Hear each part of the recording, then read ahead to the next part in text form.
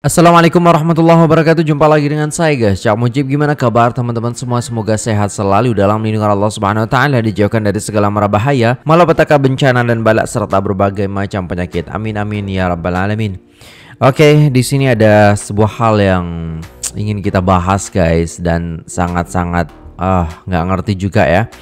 Di sini ada sebuah video yang lagi viral mungkin di Malaysia dan di Indonesia juga ada gitu di beranda-beranda kita juga muncul yaitu hina kepada Islam, hina kepada Nabi.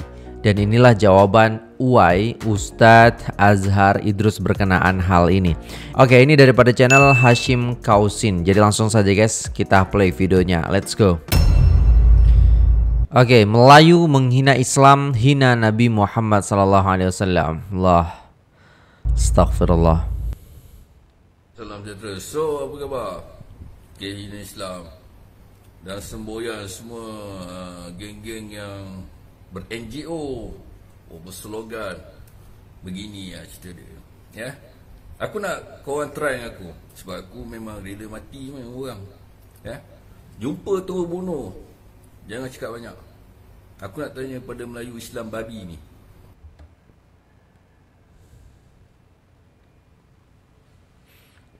Okay. Nabi Muhammad kau tu ha, sebenarnya kambing babi.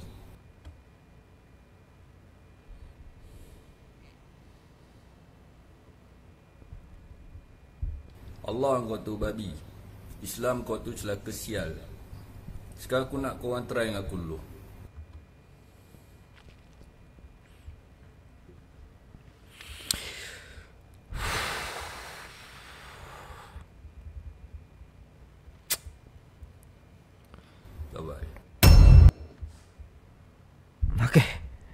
Ini video yang viral guys. Saya harap pihak daripada kepolisian ataupun pihak yang berwajib ya. Ini harus menahan orang ini karena memang I don't know lah saya cakap. Tapi memang Eh, hey, jangan, jangan balas dengan kata-kata kasar, jangan, jangan, jangan. Kita doakan ya, kita doakan. Kita doakan yang terbaik ya. Kita doakan.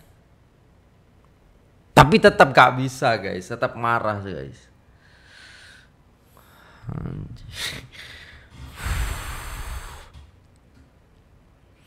Coba kita dengar jawaban Ustadz Azhar Idrus. Kalau menurut saya, ya kalau menurut saya, orang yang seperti ini ya menghina Nabi Muhammad SAW, menghina Allah Subhanahu Wa Taala,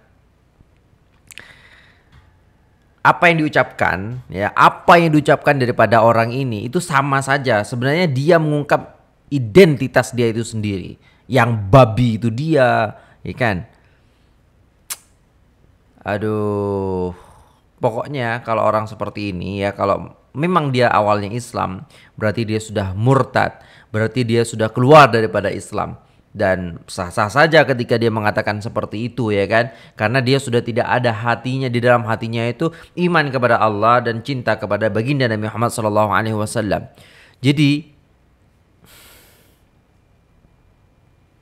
Jangan disembahyangkan, jangan disolatin orang kayak gini guys. Dicatat namanya ya kan, dicatat namanya jangan disolati karena dia sudah menghina baginda Nabi Muhammad dan Allah Subhanahu wa taala. Berarti dia sudah kafir. Dia keluar daripada Islam.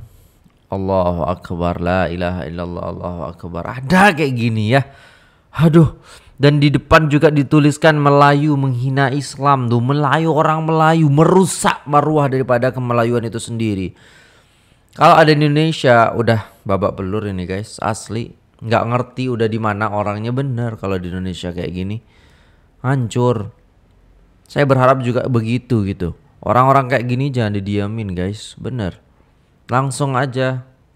Aduh.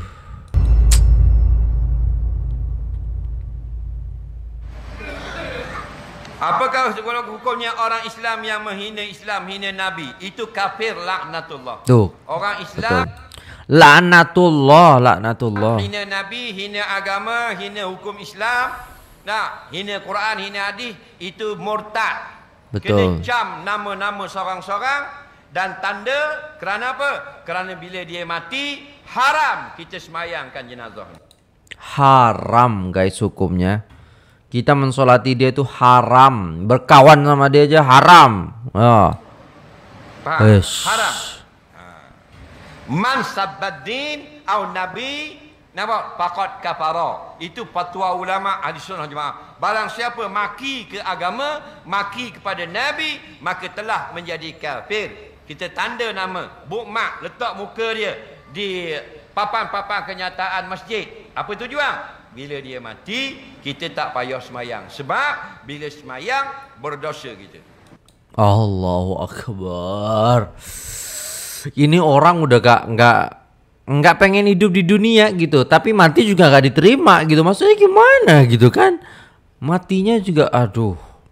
Kerana dia kafir murtad. Walaupun Betul. dia mengaku orang Islam. Betul. Islam progresif dan sebagainya. Faham? Dia sudah murtad.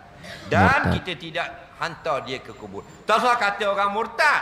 Orang yang menyebelahi orang kafir. Yang berlawan dengan orang Islam. Mereka munafik. Betul, munafik. Sekarang orang kafir berlawan dengan ulama-ulama. Menentang perjuangan Islam. Orang kafir nak menyekat Islam. Orang kafir nak ah, membuang ah, penceramah-penceramah. Ah, nak menghalau dan sebagainya. Orang Islam yang menyebelahi mereka adalah munafik. Betul. Islam munafik namanya.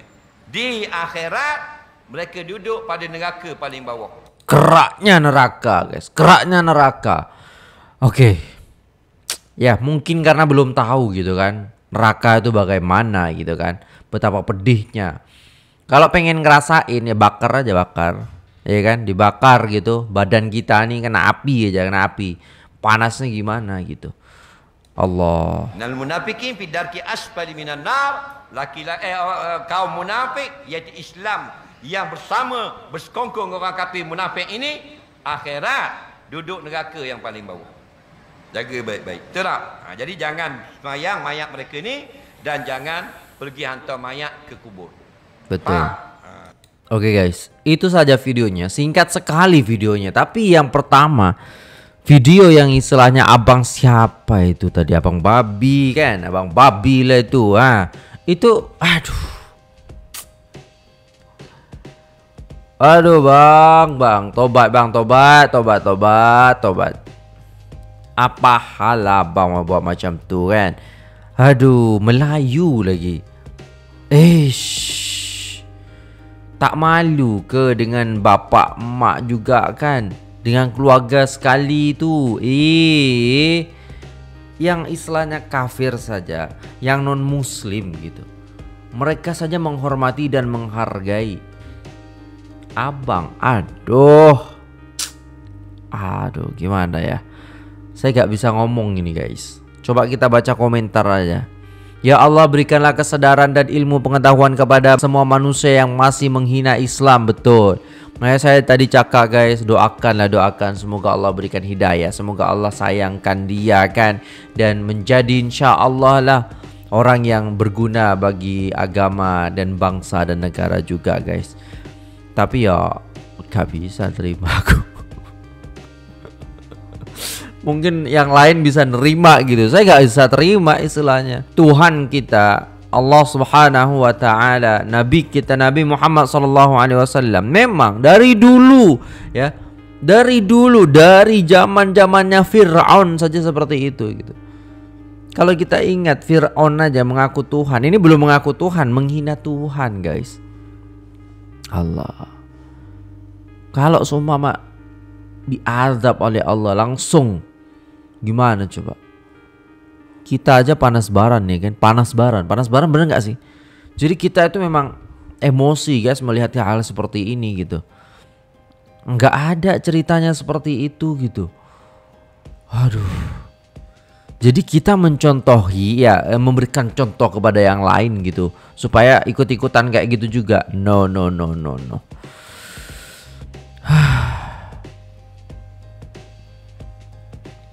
Islam tak perlukan kita pun, tapi kita amat memerlukan Islam untuk selamat dunia akhirat.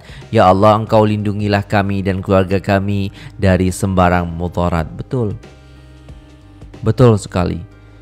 Benar kata-kata Ustadz Azhar Idrus Ingat saudara-saudara muslimku Kita doakan semoga Allah tetapkan hati kita di jalan Allah subhanahu wa ta'ala Kita berdoa kepada Allah subhanahu wa ta'ala ya Bila zaman makin maju, makin ramai liberal, betul. Sepatutnya Malaysia patut ubah undang-undang yang berkaitan dengan rukun negara yang mana salah satu adalah Islam agama resmi negara.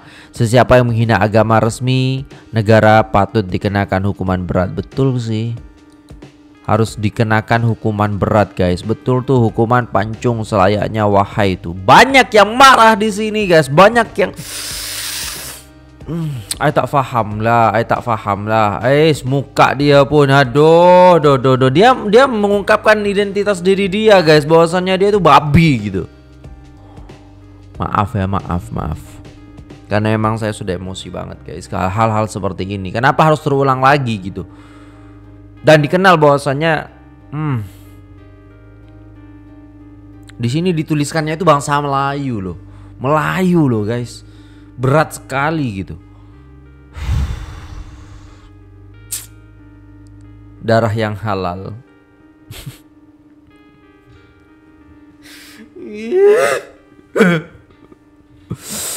Astagfirullah. Allah tak perlukan kita tapi kita perlukan Allah. Betul.